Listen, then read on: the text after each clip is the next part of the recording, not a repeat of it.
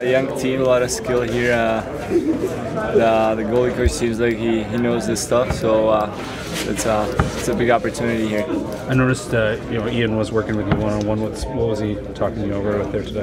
Uh, pretty much details. Like details is some it's the main part of the goaltending, and uh, uh, Clark is really big into into details, so we're gonna work on that. With Rangers, the, the the goalie coach he was always positive. Here you have to focus on uh, negative things too because you need to learn from something, right? Three years ago, I was all over the post. I was young, flexible, and uh, and over the years, the, the hips got a little stiffer, so more of a stand-up goalie now. But uh, I believe that if we work on it with Clarky, that we can we can make some progress there. It's just the detail, like the detail of the whole thing, like to be able to get into the pose in one move, except two. Okay. And uh, just some adjustments there on the pose to cover all the holes and stuff. So so much so much to work on.